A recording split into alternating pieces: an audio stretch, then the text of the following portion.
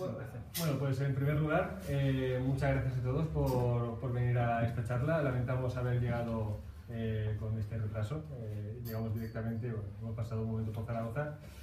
Y, y bueno, en primer lugar, me gustaría presentar un poco quiénes somos para quienes nos conozcáis.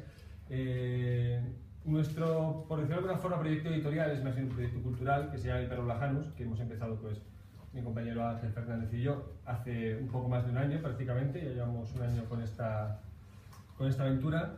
Eh, es un proyecto en el que pretendemos difundir el conocimiento tradicional, eh, entendido, entendiendo esa tradición como la tradición perenne, y descubrir autores que no han sido muy conocidos en el mundo de la, del habla hispana, de las lenguas hispanas. Eh, tenemos pues, hemos publicado libros, como por ejemplo de eh, Juliano Kremer, un ocultista muy metido dentro del tema de lo que es la, la alquimia, eh, libros bastante interesantes, hemos tocado otros libros que han abarcado periodos de, convulsión, de cambios de, de, tendencias de pensamiento, como lo que es la Revolución Francesa y sus eh, opositores, como eh, Joseph Lemaitre. Hemos también tratado otros autores como Arthur Miller Brook eh, que eh, mostraba un poco eh, la contraposición de tendencias entre lo que era la Alemania del Segundo Reich y luego las revoluciones que hubieron hasta que desembocó en el Tercer Reich. Y bueno, en esta ocasión, desde hace poco, con la colaboración de, de, Enrique, hemos estado empezando a tocar el tema de la geopolítica, centrándonos mucho en el tema de Rusia, que es un tema bastante candente actualmente, es un actor geopolítico bastante importante a nivel internacional y nosotros queremos dar una perspectiva eh, divergente de lo que es eh, lo que promulga, lo que promulga perdón, la, los medios de comunicación convencionales. ¿no? Dentro de nuestro pequeño esfuerzo somos dos, eh, con la ayuda de Enrique a veces, y hacemos lo que podemos. Vamos poco a poco sacando adelante este, este proyecto, que no solo consiste en publicar libros, también tenemos un blog en el que vamos poniendo extractos de nuestro bueno, de pensamiento, artículos de opinión, eh, repasamos la obra de algunos eh, autores, eh, bueno, ponemos un poco lo primero que se nos pasa por la cabeza relacionado con el tema tradicional.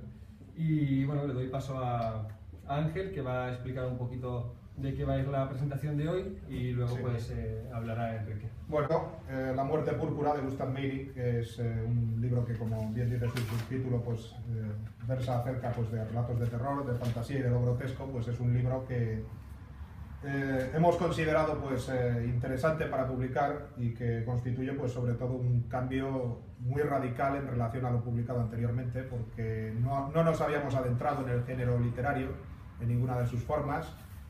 Y bueno, pues ha sido un contrapunto o una forma pues, de, dar un giro de alguna manera pues, a, nuestras publicaciones hasta el momento, pues, que eran más que nada geopolítica, pues, eh, ensayo, filosofía, etcétera y así pues abarcar también pues otro público pues eh, muy diferente del que nos seguía hasta este momento y que quizás pues tenga otro tipo de afinidades intelectuales y lectoras.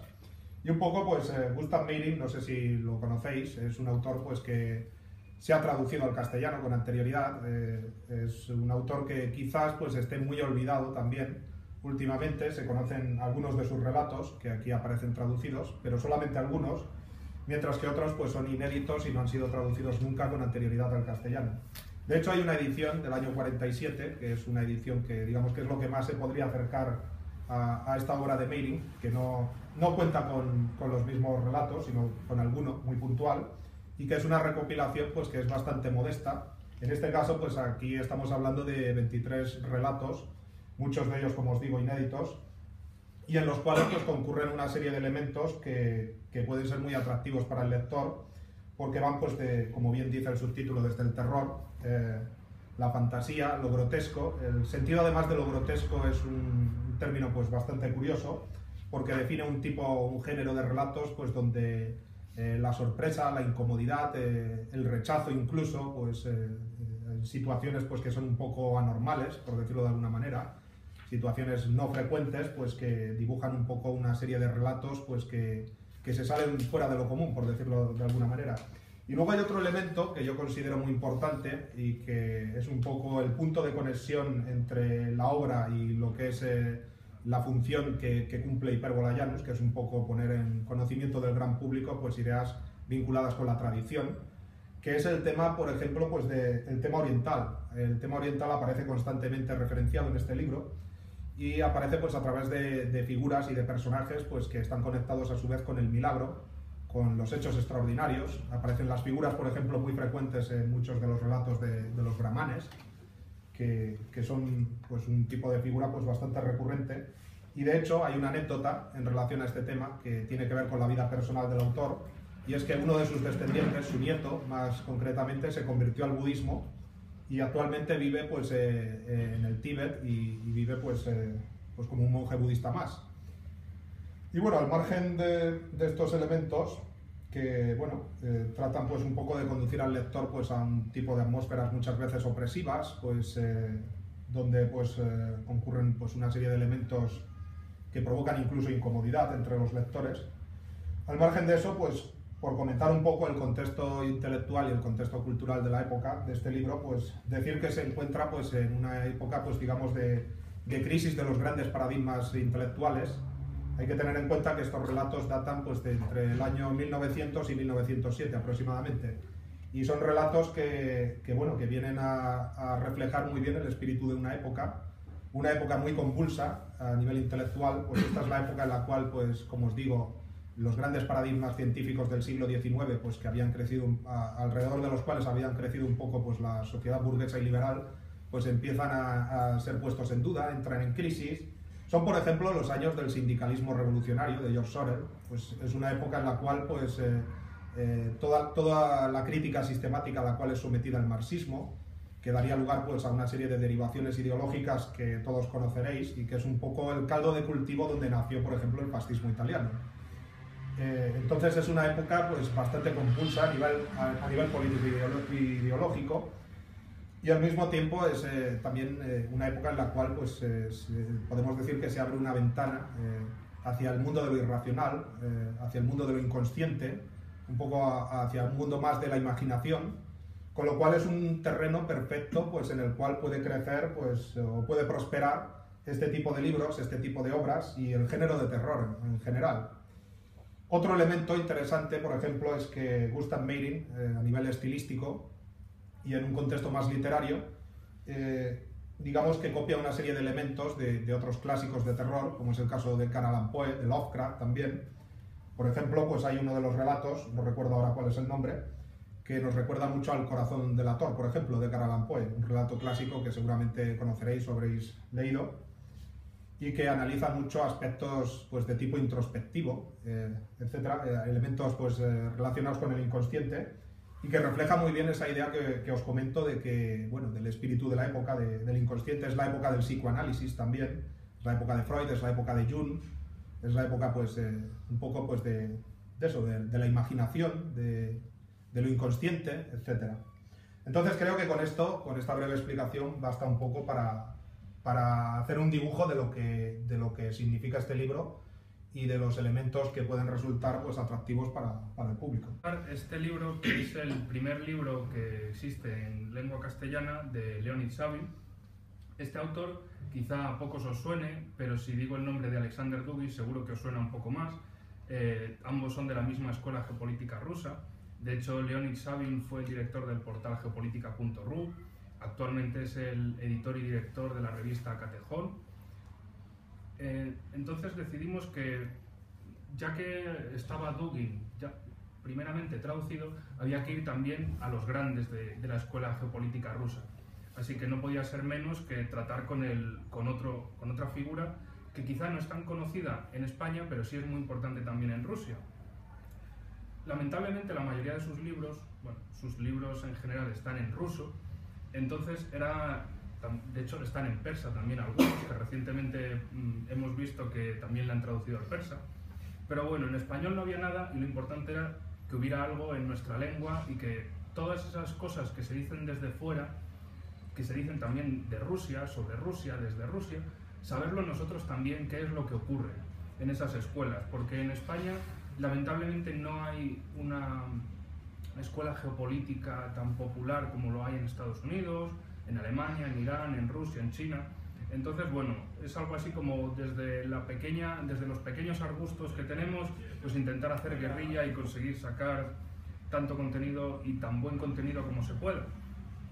De modo que empezamos eh, sobre artículos del propio autor, artículos inéditos, artículos largos, eh, digamos de tipo académico, pero no, aparentemente parecían que no tenían sentido, parecían que eran simplemente artículos que trataban sobre temas muy interesantes, pero que no había una conexión entre ellos, así que poco a poco fuimos trabajando eh, con, el, con, el, autor, con Leonid Savin, para ver cómo éramos capaces de confeccionar un libro que aunque fuera aparentemente una recopilación de artículos, que en realidad tuvieran un relato constante. Entonces, eh, llegamos a la conclusión de que el título del libro tenía que tener estas tres palabras, geopolítica, organizaciones y alma rusa. Para explicarles lo que significa cada uno de los tres pilares, lo voy a hacer a partir de, los propios capítulos en sí mismo. Por ejemplo, esto de alma rusa, que puede resultar como, ¿qué es esto del alma rusa? Bueno, el alma rusa, según lo que hemos eh, sacado, se divide en tres capítulos. El capítulo relativo a la lengua rusa, el capítulo relativo a la Iglesia Ortodoxa rusa y su relación con el Estado ruso, y también, por supuesto, a las diferentes religiones que tenemos en Rusia. Esto no es el clásico tema sobre las opiniones geopolíticas o el análisis geopolítico de diferentes autores, no. Esto ya es ir al alma rusa. Entonces dijimos, tiene que estar esas dos palabras ahí formando parte del título. Entonces, ¿qué es esto de la geopolítica de la lengua rusa? No es un artículo filológico es un artículo histórico-político del origen de la lengua rusa, desde San Cirilo y San Metodio. De hecho, el alfabeto cirílico viene de Cirilo, de San Cirilo, un apóstol bizantino que fue a las tierras de lo que actualmente es el sur de Ucrania y confeccionó el alfabeto cirílico, como lo que se conoce como el alfabeto cirílico. Y también llevó la religión ortodoxa bizantina a los pueblos eslavos. Entonces este, este capítulo nos hace ese viaje desde el principio hasta la actualidad nos da un repaso acerca de, por ejemplo, las diferentes reformas de la lengua rusa, de la que destacaré la tercera, que realizaron los bolcheviques a partir de 1918, y en la cual la lengua rusa hasta entonces no se hablaba en todo el imperio ruso. La lengua rusa la hablaban los rusos. Parece evidente, pero es así. Hay diferentes pueblos en el imperio de Rusia que no conocían ruso. Los bolcheviques cuando llegaron, aparte de reformar el idioma, también dijeron, tiene que haber una alfabetización obligatoria para todo el mundo. Esto puede ser aparentemente bueno y saludable para que todo el mundo sepa leer y escribir. Pero también si te obligan a leer y escribir en cierto idioma, también es una forma de, digamos, de oprimir o de obligar a la gente a que deje lo que es para empezar a ser otra cosa. Por ello, en la lengua rusa, ya que los rusos eran la mayoría en el imperio, los bolcheviques decidieron que este debía ser el idioma de la burocracia, el idioma del poder y el idioma de las escuelas. Y a partir de ahí el ruso se extendió a muchísimos más territorios como nunca antes había ocurrido. Por otro lado, en, el capítulo relativo a la Iglesia Ortodoxa rusa tampoco es un capítulo relativo a, digamos, derecho canónico o algo como doctrinas religiosas, sino es otro viaje histórico-político desde el origen de la Iglesia rusa directamente también de San Cirilo y San Metodio, pero también de cuando eh, el gran príncipe de Kiev, Vladimir Sviatoslavich, en, en, el año 988 decide que el Rus de Kiev debe convertirse al cristianismo ortodoxo, bizantino. Entonces nos va dando ese viaje de cómo la iglesia rusa fue siendo una parte fundamental y absoluta de lo que es Rusia y de que no es una entidad medieval, una entidad del mundo antiguo, es una entidad moderna, es una moderna en el sentido de actual, por supuesto, que es una institución de carácter social, que es una institución que no es algo que está ahí y la gente va a rezar los domingos allí, es una institución que está con el pueblo, que está cuidando al pueblo, que también eh, es eh, la mantenedora de la cultura del pueblo y también en un sentido político porque la Iglesia ortodoxa también entra en política, pero no como un partido ni como un movimiento. La Iglesia es eterna, según sus postulados, entonces la Iglesia no necesita presentarse a elecciones, no necesita nada de eso. La Iglesia está con el pueblo y eso es lo importante. La política es pasajera, es transitoria, como también a lo largo de este artículo se va viendo cómo la relación entre la Iglesia y los diferentes gobernantes, da igual el gobernante que esté, la Iglesia mira, digamos, hacia lo eterno, hacia el, nosotros estamos aquí, pero nosotros seguiremos, entonces no necesitamos ni ganar unas elecciones ni, ni digamos, postularnos al trono, necesitamos estar con el pueblo. Y finalmente, el capítulo de los centros espirituales de Rusia es eh, para mí el más interesante del libro y también el que, con el que más problemas he tenido jamás en la vida, porque de hecho lo perdí dos veces. La primera de ellas lo traduje como anécdota y de repente no estaba nada escrito, lo tuve que volver a hacer. Y volvía y ya haciéndole muchas copias, volví a entrar, le hice las anotaciones y volví a perder las anotaciones, volví a hacer las anotaciones. Al final, el capítulo es, eh, es eh, por así decirlo, como un viaje a lo profundo de Rusia. Es decir, no es algo de la política desde Moscú ni nada, sino te lleva por toda Rusia y te enseña todo lo que Rusia tiene. Por supuesto, la ortodoxia cristiana es la religión mayoritaria entre los pueblos de Rusia, sobre todo entre los rusos mismos. Luego también está el Islam, sobre todo centrado en la región del Volga y en el Cáucaso Norte, en pueblos de origen tártaro o de origen túrquico. Por otro lado estaría el budismo, que se centra sobre todo en la región, para decirlo de una forma sencilla, en el entorno del Báltico y también en la depresión del Volga. Y finalmente, como religiones minoritarias que te hacen viajar todavía más a lo profundo de Rusia, estaría el paganismo, que se encuentra en las repúblicas de Mariel y de Mordovia, y el chamanismo, que se encuentra sobre todo en la inmensa región de Yakutia y en Altai. en, este, en este capítulo es un, eh, es un viaje también histórico-político, pero sobre todo dedicado a en qué creen los diferentes pueblos de Rusia, cómo es su creencia, cómo son sus templos, cuáles son sus lugares sagrados, y la verdad es que cuando uno lee este capítulo, lo, primero que piensa es, me voy a coger un billete a Moscú, me voy a coger un coche y voy a viajar por toda Rusia para conocer todo lo que, todo lo que van mostrando en este capítulo. Y hasta aquí, digamos, está la parte del alma rusa, del corazón de los rusos, de lo profundo de los rusos, lo que no sea la, la política fría. Por otro lado, el tema de organizaciones puede parecer algo así como, ¿qué es esto? Que queda como abstracto, queda como raro. Bueno, en organizaciones le dimos este título porque trata sobre todo sobre el tema del coaching, el tema del viejo liderazgo como gestión y del nuevo liderazgo como liderazgo propiamente dicho, como encabezar y no como simplemente tener una posición de autoridad y de ahí emitir órdenes sin que digamos eh, te importe a quién las emites. Eh, por supuesto, este paradigma, eh, el autor ofrece un término que yo creo que en España, por lo menos yo nunca lo había oído, que es el de organizaciones caórdicas. ¿Qué significa esto? Organización caórdica significa que mezcla el caos y el orden. Bastante, bastante intuitivo, pero una vez eh, lo ves así de primeras, caórdicas, incluso suena cardíaco, suena algo muy raro, pero les explico brevemente porque es un, un término muy interesante en el libro. Viene a decir que toda organización, ante la situación de la globalización, ante la situación del mundo virtual, del mundo donde las distancias no existen, donde todo se conoce de un segundo para otro, ya no vale ese viejo liderazgo de la autoridad, del decir yo mando y alguien me hace caso y lo único que gestionamos es un problema y no nos interesa lo demás. No, ahora se busca también el liderazgo, el encabezar, el dirigir a la gente hacia un objetivo, el que tengan un sentido de pertenencia. No el sentido de yo estoy en una organización pero si estuviera en otra tampoco me importaría mucho. Pensándolo, digamos, en perspectiva, sería algo así como la diferencia entre un ejército cartaginés de autoridad, de yo compro a los soldados, y de un ejército romano de yo encabezo a los soldados del pueblo. Por un lado, digamos, los mercenarios, si no están en un sitio y les viene, perdón, si están en un sitio y les viene un mejor pagador, se van a otro.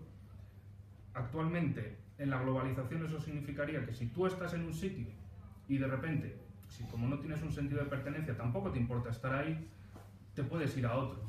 Entonces, no vas a, trabajar, digamos, tanto, no vas a darlo todo en, ese, en esa organización, sea una organización social, económica, política, porque no pasa nada, si no estás en un sitio hay otro que te da las mismas condiciones, pero si tienes un sentido de pertenencia, de yo soy de aquí y yo no me voy a mover de aquí, y, hay un liderazgo que no ordena, sino que encabeza, que lleva a la gente a que tengan ese sentido de pertenencia, Entonces se pueden afrontar todos los problemas, pero obviamente no desde un extremo o de otro, es decir, no se puede simplemente gestionar o simplemente liderar, tiene que haber ambas, tiene que haber una estructura mínima y también tiene que haber una estructura flexible.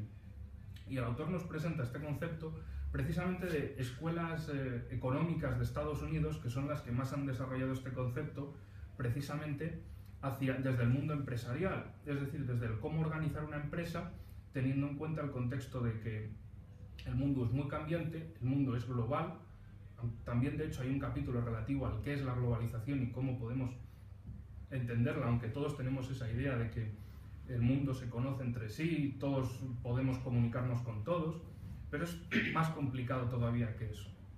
Siguiendo sobre este tema, en el, en el primer capítulo del libro, de hecho, ofrece los diferentes paradigmas que, como decía, vienen de Estados Unidos principalmente, son muy interesantes, no planteados obviamente en origen desde lo económico, pero se pueden aplicar a cualquier ámbito de, de la sociedad, a una organización social, eh, a una universidad, a un colegio, siempre teniendo en cuenta esos principios caóticos de que se necesita un orden mínimo, pero también se necesita liderar, se necesita crear ese sentido de pertenencia, ese sentido de yo estoy aquí y no me voy a otro sitio aunque me ofrezcan nada mejor porque yo, estoy, yo soy de aquí, no de otro sitio.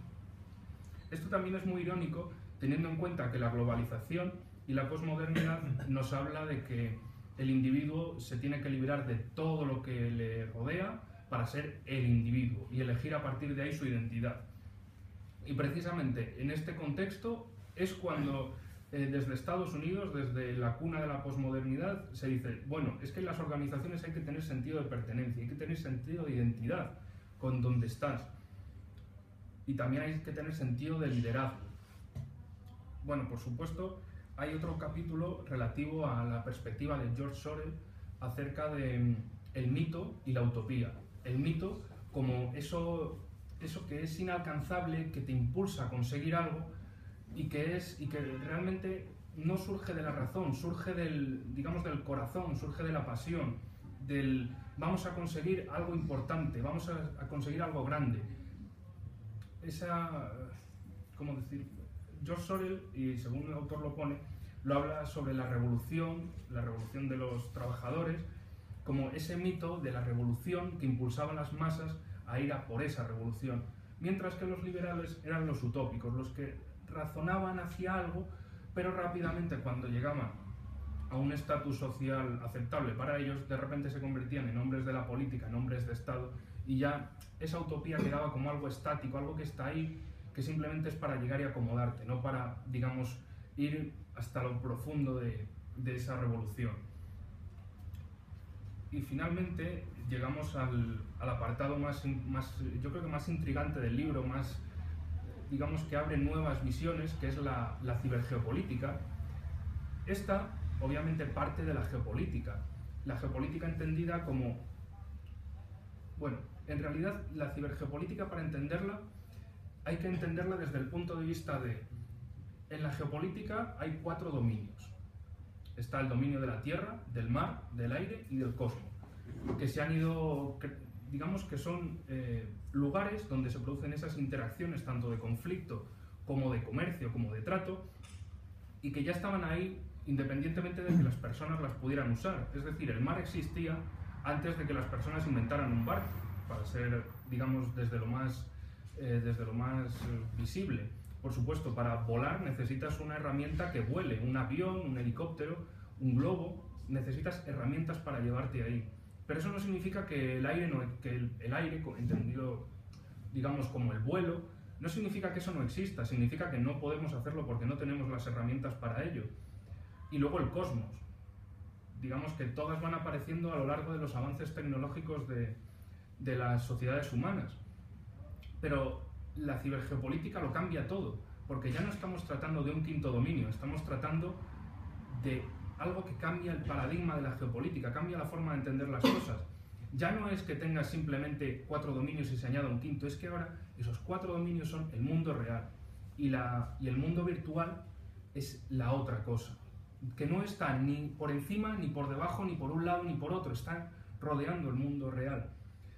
En el mundo real hay distancia, uno puede andar de aquí hasta la puerta, uno puede andar de aquí hasta su casa. Pero en el mundo virtual no hay distancia, no existe ese concepto. Una vez que existen las comunicaciones a tiempo real, podríamos estar aquí hablando con alguien de Vladivostok y, le, podríamos hacer preguntas y nos responderían en el acto. Eso mm, ha eliminado el concepto de distancia, pero eso también significa una cosa muy importante. La cibergeopolítica no tiene una geografía como tal. Uno puede percibir dónde llega la Tierra y dónde empieza el mar, dónde empieza el espacio, dónde empieza el aire, pero uno no puede determinar dónde empieza el ciberespacio, porque el ciberespacio es una construcción de las personas. Y hay que entender ese paradigma desde el principio. ¿Esto, esto a qué nos lleva? Por supuesto, si es solo así dicho, no nos llevaría a nada, pero es que hay un trasfondo, y es que el desarrollo de la tecnología y, digamos, la tecnologización de las sociedades y el hecho de la popularización de los sistemas de comunicación y su, y su velocidad cada vez mayor hace que tú eh, no, no, necesites, digamos, una especie de ordenador del tamaño de una habitación para comunicarte con otras personas. Lo llevas en un móvil, en la mano, en el bolsillo, siempre lo llevas ahí. Y llevas todas tus redes sociales, todos tus correos, todos tus teléfonos, todas tus aplicaciones. Y la vida ya no es la vida en el mundo real, no es la vida de la comunicación eh, cara a cara, es la vida de la comunicación también, digamos, a través de esos interfaces entre las personas y las máquinas que te llevan a hablar con más personas todavía. Esto, por un punto de vista, puede ser bueno de cara a que cada persona, en vez de hablar, por ejemplo, con 10 personas en un día, puedes hablar con 50, con 10 en persona y 40 en, en los medios virtuales. Esto puedes pensar, sí, por temas de trabajo, por temas de entretenimiento, esto mejora la vida de las personas. Puedes trabajar mucho más, puedes conseguir muchas más cosas, pero también se producen diversas ciberenfermedades. Por ejemplo, a nivel individual, los ciberjunkies, por así decirlo, de cara a que las personas ya no tienen ese mundo real donde trabajan y el mundo virtual es un apoyo para crecer más en la vida real, sino que directamente separan los dos mundos y el mundo virtual cada vez cobra más importancia en su vida, llegando a ser ese mundo principal de su vida, y la vida real como una especie de cosa accesoria que tiene que estar ahí, pero que tampoco les importa mucho. También desde el punto de vista de la política, hay que entenderlo desde los ciberconflictos, desde el ciberespionaje. Sí, aquí la palabra ciber se repite mucho. Básicamente, los conceptos geopolíticos eh, aquí se pueden encontrar en su forma ciber. Ciberconflicto, cibergeografía, ciberespionaje, ciberconflictos, cibercomunicación. Es decir, el mundo virtual es como una especie de reflejo, pero un reflejo que solo podemos entender a través de la, tecnología que las propias personas crean. Es decir, una persona puede ir a hablar con otra y va en sí misma la persona. Aquí no, aquí es hablar a través de una interfaz, hablar a través de la tecnología y de todos los avances que pueden, como digo, propiciar buenas cosas, pero también malas cosas. Y por ello, por ejemplo, están eh, diversos casos que menciona el autor, por ejemplo, el caso de la India, de que las nuevas tecnologías hicieron que también unos terroristas que estuvieran haciendo un ataque criminal en Bombay y de repente estaban hablando por teléfono móvil, estaban hablando por correo electrónico mientras coordinaban las acciones. Entonces dices, eh, esto es que la geopolítica, perdón, el mundo virtual es malo, como dicen algunos, hay que controlar Internet. El Internet es como ponerle puertas al campo. ¿Dónde, ¿Dónde está Internet? ¿Dónde empieza Internet y dónde termina? Por así decirlo. Por ejemplo, hoy en la televisión decían, a partir del lunes no se pueden publicar sondeos en España sobre las elecciones. Perfecto, los publico en Portugal. Y luego los puedes ver desde España. Y entonces ahí te das cuenta de cómo todo este mundo virtual hace que no haya ni barreras ni distancias. Entonces te crea ese mundo, digamos, ese mundo infinito creado por las propias personas y que cada vez tiene mayor influencia en la propia vida de la gente. Para terminar con la presentación, hay otra serie de capítulos relativos a la geopolítica propiamente para que también se vea en su consonancia con el mundo virtual, por ejemplo, el tema de la, Maidan en Ucrania, de cómo ahí el mundo virtual tuvo mucho que ver con la movilización para conseguir esos cambios en la vida real. Es decir, siempre teniendo en cuenta la lógica de que todo lo que hagas en la vida real se puede ver reforzado o bloqueado desde el mundo virtual. Entonces ya no es que tú quieras hacer como persona, como grupo, como Estado, algún tipo de acción y lo quieras llevar a cabo a la realidad. También te das cuenta de que te pueden espiar y te pueden atacar desde el mundo virtual que está cada vez más presente en las personas. Si solo hubiera ordenadores y la gente no tuviera teléfonos móviles de los que conocemos ahora, de los llamados smartphones, la comunicación sería diferente. Porque la comunicación necesitarías una, una herramienta que tienes que, por ejemplo, poner en una mesa, que ya no es tan manejable, no la puedes meter en un bolsillo. Entonces ya, digamos, no llevas el mundo virtual, digamos, metido en el pecho. Lo llevas en una bolsa y a lo mejor dices, la bolsa me pesa, no lo llevo.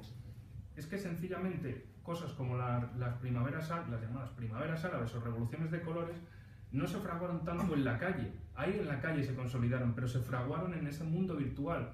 Y también eso lleva a pensar, ¿es en realidad una acción de personas descontentas con los políticos de su país los que propician ese cambio? ¿O en realidad hay algo detrás para fomentar esos cambios? Es decir, ya no, hay estados que ya no necesitan exportar activistas a otros países, directamente los pueden mandar desde Internet, ahorrándose muchos costes. Del mismo modo que el espionaje, ya no necesitas mandar una especie de 007 a espiar las fábricas de otro país. Ahora los puedes intentar sabotear desde ordenadores en tu propio país, como por ejemplo pasan con algunas empresas tecnológicas de Asia, que denunciaron que les habían hackeado sus servidores y que les habían robado contenido, digamos, en primicia. Esto, por supuesto, nos lleva a los ciberdelitos, a, cómo, a pensar cómo se pueden controlar estos ciberdelitos, a cómo, digamos, el poder en la realidad sí se comprende fácilmente. Es decir, eh, si alguien hace una reunión y es ilegal, o si alguien hace un grupo terrorista, pues se encontrará con las fuerzas y cuerpos de seguridad del Estado, que sea. Pero cuando uno hace un delito en el ciberespacio, ¿bajo qué régimen se, se encuentra? Por ejemplo, el caso de, de, una, de un eh, neozelandés, no, de un finlandés que fue a, Nueva Zelanda, así a Nueva Zelanda, eh, el caso de Megaupload, si mal no recuerdo, eh, claro, a él le juzgaron, pero ¿quién estaba acusando? Estados Unidos. No era lo mismo que, digamos, te acuse un país pequeño sin poder que te acuse el señor de los países. Y a él sí le querían juzgar, pero claro, ¿cómo puede ser que un tipo que está en otro país donde hay una legislación que no es como en la tuya, y si en ese país no es delito, pero en otro país sí es delito, ¿cómo controlas tú que ese contenido no llegue a tu país. Por ejemplo, portales de, eh, donde se ponían series y películas en España y resultaba que lo cierran. Pero claro, cierran la entrada de, de ese contenido aquí. Simplemente lo redireccionan por otro país, por los servidores de otro país y ya puedes volver aquí con ello. Entonces se produce ahí como ese choque, ese ciberchoque, precisamente, entre lo que es el poder tradicional, el poder físico y el poder en el mundo virtual. Eh, por supuesto, hay otro capítulo relativo a que Estados Unidos, cómo percibe este nuevo mundo, cómo eh, ya, digamos, no ven la cibergeopolítica como algo anejo, sino como algo principal, como algo que les puede ahorrar muchos gastos en, ejército, porque lo pueden hacer desde casa, incluso lo pueden hacer desde medios no tripulados, como los famosos drones, y para ello eh, dicen que hay que financiar más el sector tecnológico, hay que mejorar, no obviamente dicen los ciberataques, pero sí dicen la ciberseguridad, la ciberdefensa, porque por supuesto, no solo las personas, como había dicho antes, tienen ese, esa vida en el mundo virtual cada vez más, sino también las empresas mandan su contenido a la nube, al espacio virtual.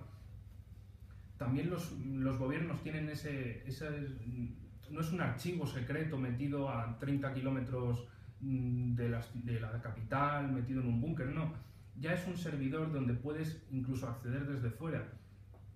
Por supuesto, los estados se dieron cuenta de ello y dijeron, bueno, si algo no está conectado a la red, es más seguro que si está conectado, porque cualquiera te podría hackear.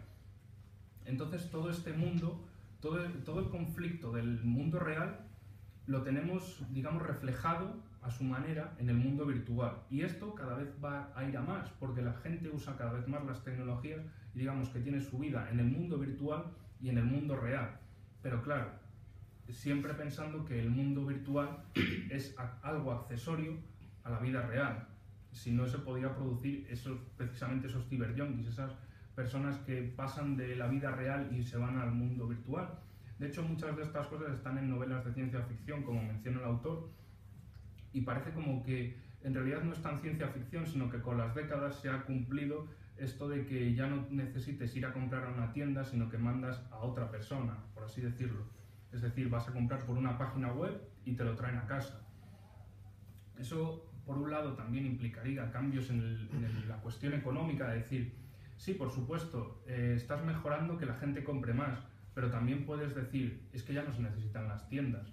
Si ya la gente compra por internet, ¿para qué necesitas compradores? ¿Para qué necesitas a alguien, digamos, que te hable de marketing, que te venda una prenda de ropa? No necesitas nada de eso. Ahora necesitas a alguien que te diseñe páginas web y cuestiones así. Y finalmente, eh, el libro no solo se compone de artículos que he traducido, sino también eh, el propio Leonid Sabin dijo, como es mi primer libro, eh, me gustaría que incluyerais una serie de apéndices o como queréis llamarlo, de artículos que él ya tenía traducidos al español y entonces pues bueno, decidimos que, que, estaba, que era una buena idea porque era un contenido que complementa al contenido del, del libro.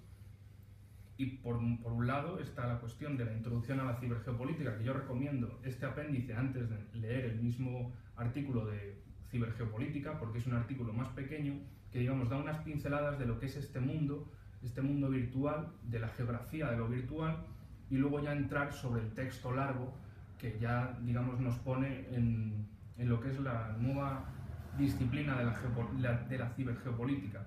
Por otro lado, hay diversos eh, apéndices puramente geopolíticos, por ejemplo, claves sobre política interna y externa de Rusia, digamos, otros eh, relativos al tema del Donbass en Ucrania, de la, disputada, de la disputada parte de Ucrania, y otros relativos a la Unión Euroasiática, porque por supuesto el autor es eurasianista, como Duby. Estos artículos, por ejemplo, el de claves estratégicas sobre la política interna y externa de Rusia, nos pone en vista de la geopolítica del Ártico. Se ve mucho, por ejemplo, el conflicto en Ucrania, eh, conflictos en el Cáucaso, conflictos en Siria, conflictos en el resto del mundo, pero a veces se deja descuidado eso del norte, eso que está más allá de lo, digamos que está en los hielos eternos. Porque a raíz de eso del cambio climático, dicen que esas zonas se van a deshelar, que van a poder ser navegables todo el año y que también se van a descubrir muchos recursos naturales ahí. Y también pues como la política externa de Rusia también se centra en ir al norte. Sobre el tema del Donbass, pues el autor nos da, digamos, claves históricas relativas a cómo entender ese conflicto en su perspectiva desde, digamos, lo más antiguo, lo más moderno, de que qué era el Donbass antes, digamos, de ser Ucrania, y finalmente sobre los prolegómenos de integración política del continente, es decir, de la integración euroasiática, nos da también diversas perspectivas de por qué, eh, digamos, la vía euroasiática tiene que ser o no tiene que ser, a qué se enfrenta, y es un artículo pues, eh, principalmente en la línea de lo que es eh, la lucha entre el corazón de la tierra, la telurocracia, frente a los diferentes ataques externos de la talasocracia. Y por supuesto el libro, como no, mm, digamos, el mayor culmen que podía tener, eran unas notas a la cuarta teoría política del propio autor, ya que la cuarta teoría política es un, eh, digamos, es un proyecto internacional ciertamente ilusionante o no, dependiendo para quién, pero aún así es una cuestión abierta y puede que sea, digamos, la, teoría política de nuestro tiempo en la medida en que la gente la pueda construir. Y aquí el autor pues, nos trata principalmente sobre lo que es la, eh, la idiocracia, es decir, el gobierno de las ideas, y centrarse precisamente no en las apariencias, sino buscar los contenidos, buscar las ideas en las cosas y cómo estas ideas se consolidan dentro de los sistemas tan complejos que hay en el mundo, es decir, de las diferencias entre las sociedades en el mundo, de cómo diferentes ideas, diferentes gobiernos de ideas podrían, eh, digamos, converger hacia una gran unidad y poder ser, digamos, eh, dialógicas. Es decir, que que aunque sean diferentes también puedan llegar a algún tipo de acuerdo. Y con esto doy por finalizada la presentación y por supuesto todas las preguntas que quieran hacer, háganlas y yo las responderé en la medida en que pueda. Muchas gracias. Quería saber si en el capítulo de, del alma rusa había también una referencia al tema del judaísmo en Rusia, debido a que entiendo que es bastante importante, de hecho tiene, ya sabes, su, Mm. su tierra, su oblast judío rozando con China y tal. Sí, pero son minoría. Sí, bueno, ya había entendido también que se está haciendo ahora, se está dirigiendo un templo eh, a todas las religiones de Rusia. eh, No, ya existe en Kazán. Sí, pero está terminado. Sí, sí, sí. eh, creo que empezó en la década pasada y ya lo, ten- y ya lo tienen hecho. Pues quería saber si existía algún pasaje al respecto o No, cuál, era sobre tu opinión, no. y cuál era tu opinión en la relevancia del judaísmo en la cultura rusa. Para los rusos creo que en general es como algo que no... Es algo minoritario, algo extraño, algo que no es, no es de los rusos, digamos. ¿Hasta qué punto eh, toda la geoestrategia y la, y la cibergeoestrategia rusa tiene sus orígenes también en los pensadores alemanes, en Karl eh, Haushofer? En- en- porque cuando estabas diciendo un concepto en, en cuanto a la, el alma rusa, se me estaba viendo a la cabeza el concepto alemán de Forjais, de espíritu del pueblo, Sí. que es de mm, antiquísimo, es decir, de- de- desde Herder.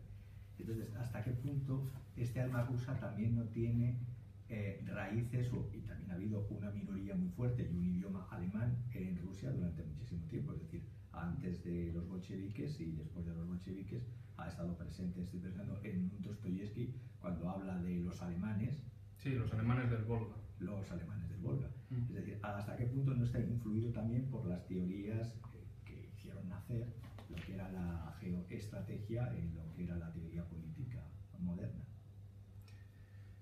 Es una buena pregunta.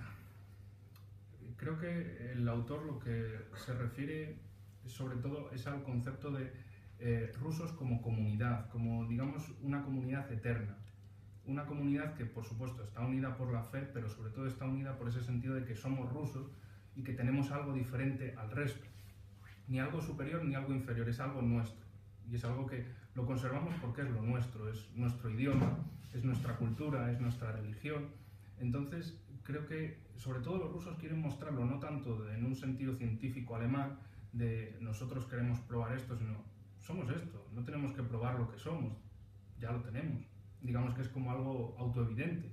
Más que una identidad construida, una identidad vivida. Sí, reconocida, es decir, reconocer lo que se tiene. Eh, Samuel Huntington, autor del, del libro famoso Choque de Civilizaciones, habla de, bueno, establece una serie de, de civilizaciones y determinadas serie de civilizaciones en el mundo e incluye, vamos, entre las cuales está incluida la civilización eslavo ortodoxa. Eh, el pueblo ruso como tal, esta alma rusa que estamos refiriéndonos, sería el equivalente a esa civilización eslavo ortodoxa o vamos allá. Claro, va más allá, no es, digamos, los rusos solo son, son la mayor parte de los eslavos, pero también hay eslavos más allá. Eh, digamos que hay eslavos eh, católicos, los que, por ejemplo, los polacos, los eslovenos, los eslovacos, pero también hay, eh, ¿cómo se dice? Eh, eslavos ortodoxos, ejemplo, Serbia. Y Serbia, digamos, no está unida con Rusia. Entonces tienes ahí como esa, Eu- digamos, en Europa Central Oriental, como ese mm, punto intermedio entre lo que sería eh, la Europa católica y la Europa ortodoxa. Y, los pueblos eslavos tanto los tienes de un lado como de otro. Entonces, bueno, ahí tienes pues eso, que sí, ex- o sea, él, digamos, sí lo extiende, digamos, desde Europa oriental hacia el lejano oeste, pero que también eh, Huntington, si mal no recuerdo, eh, trazaba una línea, digamos, desde Estonia y Rusia hacia abajo. Y claro, dejaba una parte de Ucrania hacia Rusia y otra parte en Europa, digamos, en Europa. Pero claro, uno se preguntaría, ¿y los serbios? ¿Y los serbobosnios? ¿Y los serbocroatas? Esos están, digamos, del otro lado, pero son igualmente eslavos y ortodoxos. Además, solo una cosa de lo que dices, reforzando lo que dices, paneslavismo durante todo el siglo XIX, el apoyo que siempre dio Rusia a estos pueblos fue el que hizo que primero se quitasen el yugo, que se quitasen el sometimiento turco y luego eh, estuvieran vinculados a, a Rusia de por vida. Mm. Pues solo por diga lo que diga Huntington. El apoyo ruso-serbio pues, fue también una de las causas de la Primera Guerra Mundial. ¿no? Sí.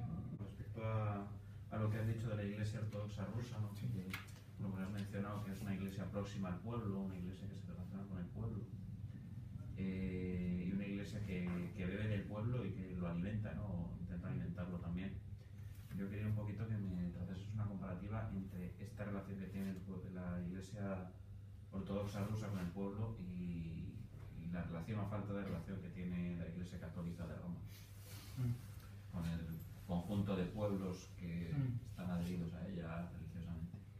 Yo creo que en primer lugar empieza con que la Iglesia Ortodoxa se considera que siempre ha sido igual, que no ha cambiado. Ha tenido cambios, por supuesto, pero ellos se ven como algo que no cambia, algo que no puede cambiar porque es así como es. Mientras que lo católico es algo que cambia, es algo que se reinterpreta a sí mismo según el tiempo, es algo que, por ejemplo, eh, a partir del Concilio Vaticano II, pues se abandona el latín como lengua católica y que cada cual hable en el idioma que quiera, mientras que los los eslavo ortodoxos, bueno, en concreto los del Patriarcado de Moscú, hablan en su eslavo antiguo, los griegos supongo que hablarán en griego antiguo, los serbios también hablarán en su idioma, digamos, más relevante, más antiguo, más prestigioso, que es la religión. Entonces que ellos no cambian. Ellos pasa el tiempo, pero siguen siendo tal y como son. Mientras que aquí, bueno, eh, si ahora hay una moda que mm, podemos engancharnos a ella y hacernos más populares, pues vamos a ir por ahí. No vamos a ser tanto, eh, digamos, mantenernos en una línea, sino bueno, en función de lo que veamos mejor para el poder, nos movemos hacia allí o no nos movemos hacia allí. Y también yo creo que en el caso concreto de España, eh, a partir de, digamos, la mala imagen de la Iglesia en la dictadura, pues a partir de ahí, eh, digamos que hay como ideologías contra la Iglesia, por ser, digamos, di- por decir que son el sustento de la dictadura. Y claro, la Iglesia también, eh, la Iglesia ortodoxa, de ir hacia los pobres, de ir a ayudarlos, aquí también, por supuesto, pero creo que no hacen una labor de comunicación como tal, sino que simplemente tienen a, los, clérigos ricos, a los clérigos que digamos que son los conocidos, pero luego también tienen mucha actividad social que ellos mismos no comunican, no saben comunicar tan bien, y si de repente esas campañas negativas contra la Iglesia, por ejemplo, eh, cada vez que sale el caso de un acusado de sacerdote pederasta, todos, la Iglesia son unos pederastas, pues resulta que hace unas semanas un eh, miembro de Esquerra Republicana fue a la cárcel acusado de pederastia. Entonces, ¿qué hay que decir? Que toda Esquerra Republicana o todo el separatismo catalán son pederastas, son delincuentes y hay que eliminarlos, hay que matarlos, como dicen algunos contra la Iglesia. Entonces ahí yo creo que la Iglesia no sabe comunicarse y también cada vez ha ido perdiendo gente joven que no que son la gente que comunica, mientras que en Rusia la Iglesia es muy importante para la gente joven y el autor, por ejemplo, lo dice mucho, que lo- los jóvenes creen más en la Iglesia que en los partidos políticos o en otras organizaciones, porque ven en la Iglesia ese sustento que no cambia, ese sustento que mm, lleguen los bolcheviques, llegue el capitalismo, llegue quien llegue, la Iglesia va a estar ahí va a estar preocupándose del pueblo va a estar con el pueblo. Ahí el- esa teatralidad de Putin a la hora de acercarse a... Claro, ahí para mí él, digamos que aprovecha esa- ese sentimiento ruso porque dices, bueno, es una persona que es divorciado, que tiene, a lo mejor tiene hijos por ahí o tal, que es una, o sea, digamos, no es como, perdón, no es como alguien familiar, alguien realmente, digamos, que va con su familia, sus hijos a todas partes. Eso es lo que él quería transmitir y lo que le gusta transmitir de que es una persona preocupada en la religión y todo eso, pero luego también tiene su lado oscuro, su lado, digamos, no tan religioso, no tan preocupado hacia ese sentido. vanidoso. Sí, La polémica un poco con el Islam, pues algunos eclesiásticos pues acuden a los tópicos liberales de que si de democracia, según ellos la entienden, igualdad de la mujer de una manera globalizante, no, No igualdad de derechos, ¿no? sino igualdad, ¿no? tal cual, y eh, acuden a los tópicos liberales y señalan hacia el Islam. En cambio, el Islam, eh, esto, esto y lo otro, o sea que eh, buscan lanzar contra él. Entonces yo creo que eso es a la larga es algo que da mucho, mucho descrédito en efecto, es decir, no es que mantengan una postura, sino que el principio de adaptación. tiene- Sí, de hecho, bueno, el Concilio Vaticano II es un ejemplo de adaptación, de decir, bueno, eh, no, no, no tenemos tanta popularidad ahora, pues ¿qué hacemos? Pues venga, vamos a quitar el latín, vamos a hacer, por ejemplo, que ya no sea una liturgia como algo espiritual, algo religioso, sino venga, fiesta, vamos a palmas, guitarras, tambores, dices, esto es una religión o esto es un cachondeo. Entonces los ortodoxos eso lo siguen mucho, la religión no es un cachondeo, no es para tomárselo de bromas. Luego, claro, desde Estados Unidos también es desde donde llegan, digamos, desde todos los, el gran grupo protestante, pues esa de la religión fiesta. Y que te acerques a la religión porque comes, te haces una fiesta, conoces gente, o sea, digamos, lo espiritual ya no importa, importa el pasárselo bien porque la gente en general, pues, eh, se, le, se le fomenta para eso, para la simplicidad, para lo sencillo, para lo que no necesita grandes explicaciones. Y precisamente la religión lo que busca son esas grandes explicaciones. Haciendo un inciso otra vez en, en las minorías eh, religiosas de Rusia, ¿estaría incluida, por ejemplo, la minoría chechena? Eh, Sí, no, son musulmanes. En lo que es el, ese alma rusa, ese pueblo ruso. Hay que entender, hay que entender eh, Rusia como los rusos étnicos y Rusia como los pueblos de Rusia. Mm. Los rusos étnicos son claramente unos. Y luego están los pueblos de Rusia, o sea, los que forman parte de Rusia como Estado, pero no son rusos. Por supuesto, los eh, chechenos u otros del Cáucaso no son rusos, pero son de Rusia. ¿Y ese concepto de alma rusa se refiere al conjunto o únicamente al Se pueblo refiere al- a los pueblos rusos y también a ruso? todo lo que rodea Claro. el entender de Rusia, porque ellos, digamos, entienden que sí, exact- realmente ellos son rusos, rusos étnicos, pero que también hay otros pueblos de Rusia que están englobados dentro de, de ese gran proyecto de Rusia. Entonces, es, claro, es un poco difícil de entender al principio, pero es que para los rusos es como algo evidente, es decir, ellos tienen un gran país y han ido a lo largo de su expansión, no, han, no se han dedicado a masacrar pueblos conquistados, sino vamos a unirlos a nosotros. Y, re- y por eso, eh, al principio simplemente unían pueblos, pero sin- simplemente en plan de, bueno, nos pagáis un tributo, nosotros os protegemos y ahí queda la relación. Cuando llegaron los bolcheviques dijeron, no, no, aquí todos iguales, aquí todo el mundo va a hablar como mínimo ruso y luego los idiomas que quieran, pero todos hablar ruso.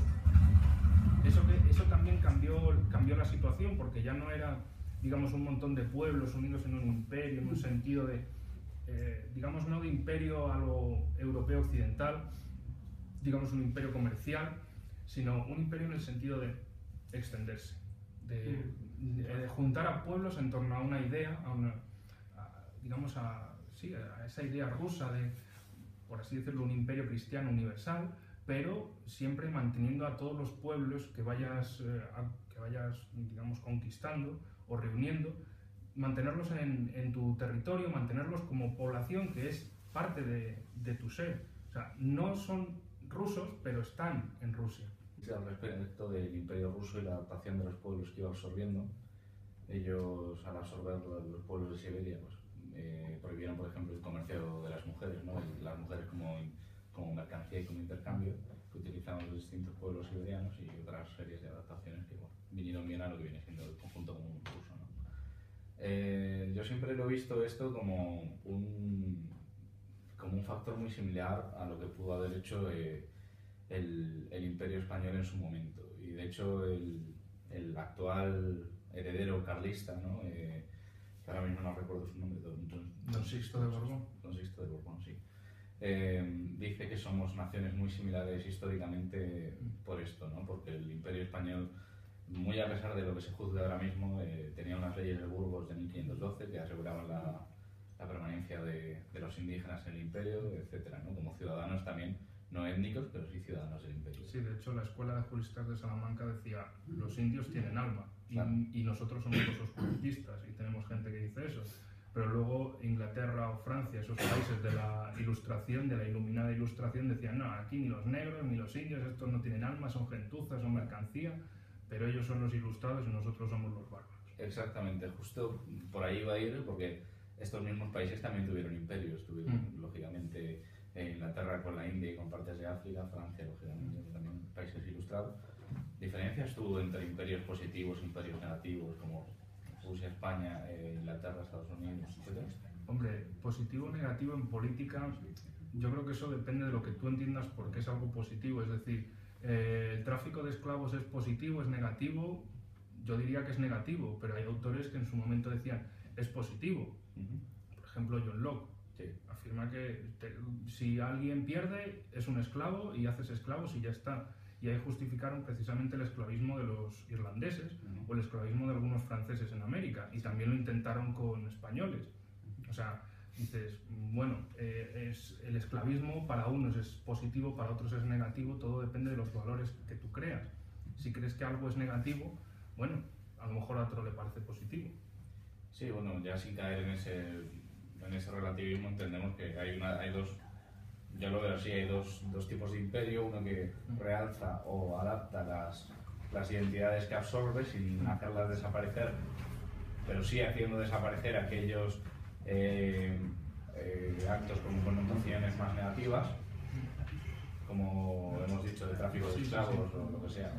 Por Sacrificios ejemplo, la humanos, Eso te iba a decir, la prohibición de sacrificios humanos. Sí, la prohibición de sacrificios humanos en, en el Imperio Español fue algo muy conocido y hay otros que directamente los util- utilizan a estos pueblos dentro de, de su propio esclavismo para su beneficio Mm. y sin adaptar esas, esa- esos vasanes, diría. Sí, yo entiendo y comparto de hecho tu postura, es decir, de, de que, de que hay imperios donde dicen, bueno, vamos a unir pueblos, pero no les vamos a quitar lo que son, los vamos a reconocer en la medida, digamos, en que no choquen tanto con nosotros. Claro. Sí, además, si me Pero eso, claro, si tú lo ves como un valor positivo, perfecto, pero por eso te digo, tú tienes valores, pero para unos pueden ser positivos y para otros negativos. Para unos la globalización es algo positivo, que todo el mundo pierda su identidad es algo positivo, es algo necesario. De hecho, aquí la propia alcaldesa lo dice, que está muy bien que los madrileños sean mestizos, que, que mesticen su identidad, que su identidad sea de todo el mundo y que Sí. es, pues para mí eso es un valor negativo, Claro, sí, sí. Ya, pero para ellos es positivo. ya se ve dentro de que los imperios a los que menos culpa se le echa son a los que hoy tienen el dominio eh, Mediático. mediático, económico y de todo. ¿no? O sea, los imperios más opresores en todo lo que cabe con las identidades. Y me encanta que, ah, que se haya sacado lo de la escuela de Salamanca y reivindicar en contra de la leyenda negra que mis queridos eh, compatriotas, mis queridos franceses y, me- y ingleses nos echan continuamente. En, es decir, somos como españoles los únicos que se puede decir que eso que se habla hoy día de la tan cacareada ideología de los derechos humanos, unos derechos de las personas realmente. El derecho fuimos- de gentes. fuimos los españoles los, los que lo pusimos y en cuanto has, has tocado el tema de John Locke, John Locke la eh, el esclavismo como justificación de eh, la primera base del capitalismo está en los propios tratados de John Locke.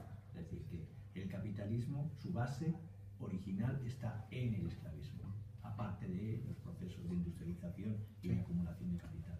Está Sí, que si en alguien la- es un perdedor, si ha perdido una guerra o lo que sea, o es capturado en una guerra, es esclavo ya. Es decir, que, la, que lo que es la esencia del liberalismo está teñida de esclavismo y, está te- y porque es la fundamentación del propio capitalismo. Sí, Enrique, eh, respecto al tema de la cibergeopolítica, a mí me gustaría saber el autor eh, cómo analiza, por ejemplo, la situación o cómo se vive el, uso de Internet según la región del mundo en la que se está viviendo. Por ejemplo, no es la misma experiencia que se tiene de Internet en China, que se conoce que es un sistema cerrado parcialmente con la gran muralla china digital, ¿no? en donde no tiene Facebook ningún tipo de pe- penetración, tampoco tiene penetración Google. Sin embargo, hay otros sistemas que son perfectamente eh, alternativos, como es Baidu o One, que es un clon. Y estos sistemas no tienen tampoco un interés demasiado eh, explícito de extenderse a- por el resto del mundo. Sin embargo, sistemas eh, de redes sociales o de web 2.0 basados en Estados Unidos, como Facebook o como Twitter, eh, tienen un afán expansionista y de penetración, eh, sobre todo en Occidente, y ya no solo en Occidente, sino también en el mundo árabe, muy grande. De hecho, eh, parece un poco paradójico que mientras los Estados Unidos eh, se van a gloria de que Facebook haya sido una de las eh, de los iniciadores de las primaveras árabes, Facebook y Twitter, eh, esté persiguiendo al mismo tiempo, con la excusa de los derechos de autor, eh, lo que es el intercambio de comunicación con redes eh, P2P o incluso ahora esté poniendo el punto de mira al fenómeno del Bitcoin.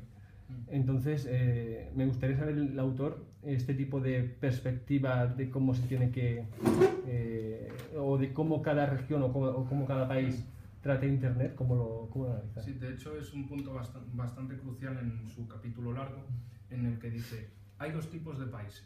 Los países que quieren Internet libre, que son Estados Unidos principalmente, y luego otros países que dicen que el ciberespacio debe ser un espacio cibersoberano de los estados, es decir, que deben decidir si lo abren, si lo cierran, si capan ciertos puertos, si no permiten el acceso desde ciertos países, por ejemplo China o Rusia, sobre todo China claramente muestra que dice no, mi ciberespacio es mío y de nadie más. Claro, para Estados Unidos ahí el juego es si Internet es libre, podemos penetrar mejor y conocer la sociedad China. Si, por ejemplo, Facebook está allí, podemos, eh, digamos, usar el Big Data, el, digamos, todos los datos que se compilan en Facebook para saber cuáles son los gustos, cuál es la opinión de los chinos y a partir de ahí jugar en cibergeopolítica y en geopolítica. Para los chinos es, no, no, no queremos que nadie venga a ingerir aquí, pero también para los chinos dicen, bueno, nosotros no que no nos ingieran sobre nosotros, pero también nosotros vamos a ingerir al resto. Digamos como desde su muralla atacar al resto y decir, no, no, nosotros Estado soberano, tal, aquí nadie puede entrar. Entonces se marca, digamos, en ese contexto de decir, eh, ¿cuál es la ley de derecho internacional para regir en el ciberespacio? El derecho de los Estados. Y luego intentan hacer proyectos de tribunales internacionales sobre esto, pero claro, digamos, como es un juego que a los, a los grandes potencias les interesa en parte que sea una zona fangosa, que sea una zona donde, digamos, solo la gran tecnología de las grandes agencias se puedan meter, pues dejarlo ahí. Dejarlo como regulamos un poco, no regulamos, pero intentar, por ejemplo, eh, eh, en el año 2000 creo que fue, eh, no recuerdo el nombre, también de una plataforma de intercambio de música, empezaba por ahí. Napster. Napster, eso. Que por ejemplo, pues se volvió muy popular y la gente decía, ya no compro discos descargo de internet y ya está. Y eso también el mercado, sobre todo en Estados Unidos, decía, oye, que nos están fastidiando aquí el mercado de vender discos, porque la gente ya no vende discos y el gobierno dijo, fuera.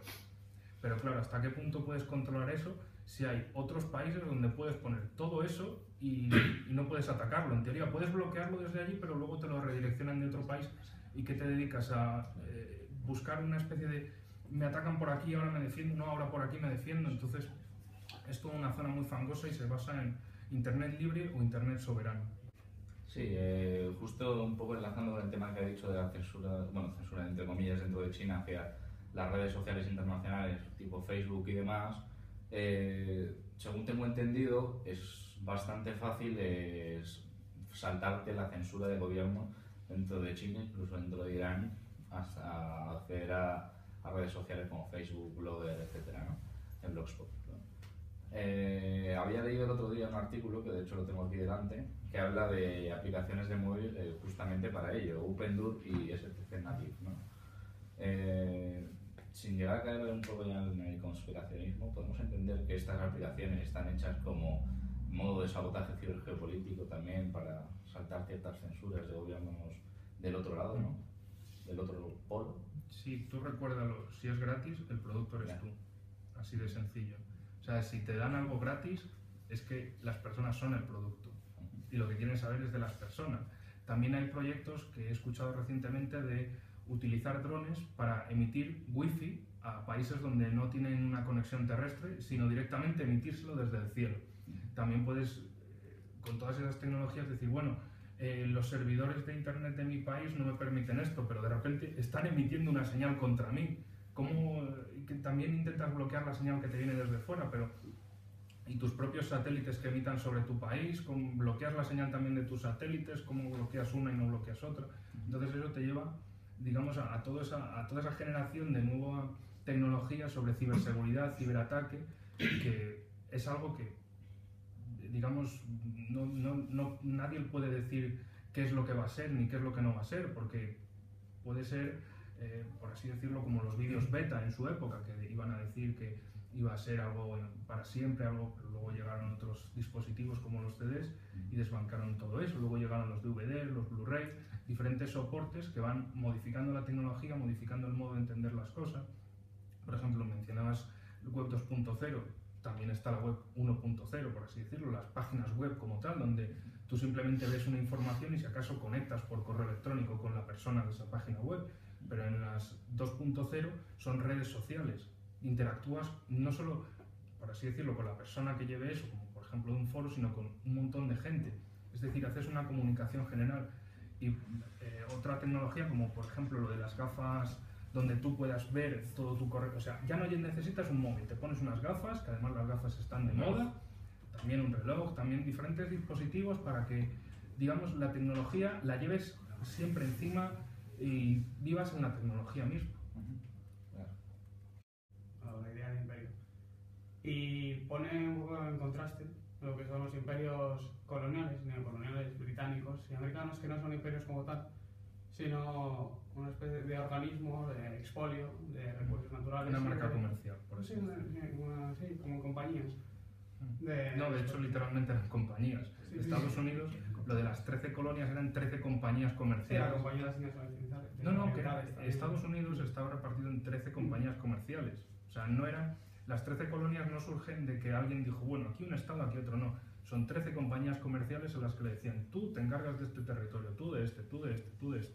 Y pedían licencias a la reina en plan de, oye, ¿y este territorio? Pues sí, toma una licencia, vete a colonizar ese territorio. Te encargas de hacer las cosas.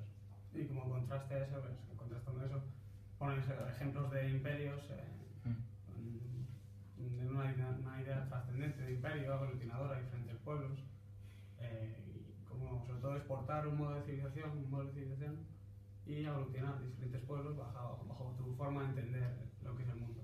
Poner ejemplos, imperio romano, que pese a que, como se vio aquí hace mucho tiempo en Numancia, pues, llegó asesinando a la población local, eh, luego sí que, por ejemplo, incluyó cultos a la diosa Isis en, en Egipto, se incluyó en su religión, etcétera, etcétera. Y eso, me gustaría recomendar a todos los oyentes la, la conferencia de Santiago. Sí, de hecho, hay otro autor que se llama Jean Tiriard, que a lo mejor te suena, y él decía, el imperio romano, Julio César era un visionario, por así decirlo, él dijo, tiene que haber ciudadanía para todos los pueblos que tengamos.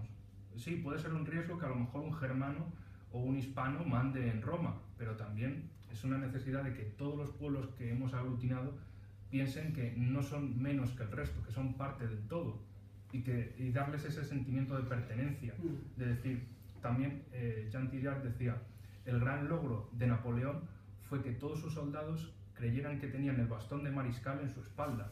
Es decir, hasta entonces, eh, si tú querías ser un alto mando militar, tenías que venir de la nobleza. Pero ahí dijeron, no, si tú haces méritos, da igual de dónde vengas, si tú haces méritos y te lo ganas, llegarás muy alto. Mm. Entonces los romanos también decían eso, de, por ejemplo, Adriano Trajano, que eran hispanos, pero fueron emperadores. Y para ellos podía ser, bueno, es que puede ser como un extranjero, puede ser como un no latino, ya, pero le has dado tu cultura, piensa como tú, aunque sea, digamos, de otro pueblo. Entonces, ese- esa idea de, efectivamente, imperio aglutinador. Inclusión. Sí. Claro, llegó a ver, es que el Imperio Romano llegó a ser un imperio completamente multiétnico. pero No solamente multiétnico porque estuviera muchos pueblos, sino porque bueno, llegó a haber mucha mezcla cultural y mucho sincretismo. Esto, Lo que decías antes de los dioses. Llegó a haber un ejército de dioses. Hubo, un eje- hubo por ejemplo, un, un emperador, bastante nefasto por cierto, se llama Heliogábalo, que fue sacerdote de un. Mal. De, sí, de un Mal. dios oriental. Sí, del, del dios Baal. Mal, del cartaginés. Sí, o- sí, o Eligabal, no sé si era Val o, Era o Val. Eligabal, sí. Val. De hecho, de ahí Val. venía su nombre. Era, era un. Una Era, derivación del era Baal cartaginés. en Siria una rama semítica de, de bueno, pues como los fenicios y cartagineses también Sí. era semita. Sí, era una, una derivación del dios ancestral Baal, de los cartagineses, del dios semita, y Mm. llegó a ser emperador. Es decir, llegó- el imperio romano no existía problemas de integración No. en, en Roma como los que tenemos ahora. Y eso no, que nadie me mire como que yo estoy a favor del régimen esclavista, que es otra cosa, del régimen de producción esclavista. Pero la integración como la que se logró en Roma no se ha logrado nunca más en ninguna creación humana, salvo en el imperio español que se acercó por la base romana que de ahí también tenemos. Ya, ahí se encamina Rusia. Porque a partir de ahí, la mayor parte de imperios y civilizaciones, en el helenismo, por ejemplo, había una élite griega y luego los indígenas. Ah. Y en la mayor parte de imperios, sobre todo en el imperio británico, especialmente en el imperio británico, había una élite que dominaba y toda la base, una enorme base de, de indígenas y pueblos sometidos que no que apenas que veían que una barrera total, una barrera invisible les separaba de la élite con la que apenas se relacionaban, si no fuera para ser explotados. Sí, de hecho, en el otro libro de Hipérbola Janus de la geopolítica de Rusia de Dugin, a Dugin le encanta mencionar eh, la relación entre Roma y Cartago y también efectivamente pone a Cartago como eh, está la élite cartaginesa y luego los comprados y los esclavos. Compran soldados y, eh, y, digamos secuestran gente para tenerla de esclavos. La, la sociedad cartaginesa era exactamente como un imperio británico. Estaban los cartagineses y luego sus soldados, que podían ser soldados propios, la élite, pero luego también los mercenarios y luego los esclavos. Mientras Roma, sí, por supuesto, tenía esclavos, pero sobre todo se basaba en la fuerza de los, de los latinos, Claro, pero de los latinos había- como tal. Que lo cogió de, de Grecia, el ciudadano soldado, que está luchando no por dinero, sino por su casa, su familia, su Mm. civilización, su cultura. Eso lo habían cogido, eso, bueno, es una idea muy griega, es la de la idea del ciudadano soldado. Sí, porque al final, ¿quién va a defender tu tierra más que los que viven en ella? Y de hecho no se puede tener derecho a auto sin haber pasado por la guerra en, la... Sí, en Ágora. cursus honorum Sí, en sí, Roma. Decían, si tú quieres llegar a la política, 10 años en la legión. Y, y para, digamos, el- la, la edad mínima de entrar en la política era 28 años. Si a los 18 habías ido al ejército, volvías a los 10 años y ya, pero no, no llegabas con, 10 con 28 años y te metían de senador o de censor. Empezabas, digamos, de limpiabotas, o sea, del puesto más bajo. No era una especie de... Por eso también, bueno, ahora que lo mencionas, es un ejemplo muy interesante para recordarle a los políticos de ahora de, no estaría mal un cursus honorum, ¿no? Un poco de que conozcáis el país, que conozcáis la gente, que conozcáis la disciplina, y luego nos venís a hablar de cosas, porque te vienen políticos que te dicen, es que somos eh, la voz de los trabajadores, y tú, si tú nunca has salido de la universidad, El curso sonoro suyo es el trepar a la, por el organigrama del partido Sí. O sea, no es trabajar en la, no es trabajar, no es conocer, es, sí. Hombre, no tienes que irte hasta la política grande. En No. patriotas incluso lo tienes de gente que no ha pegado el huevo en su vida y sin embargo sale siempre en la televisión de ahí, ¿no? Pero bueno. Bueno, ¿alguna pregunta más? Bueno. pues eh, dejamos aquí. Pues Espero nada. que os haya gustado y muchas gracias por haber venido.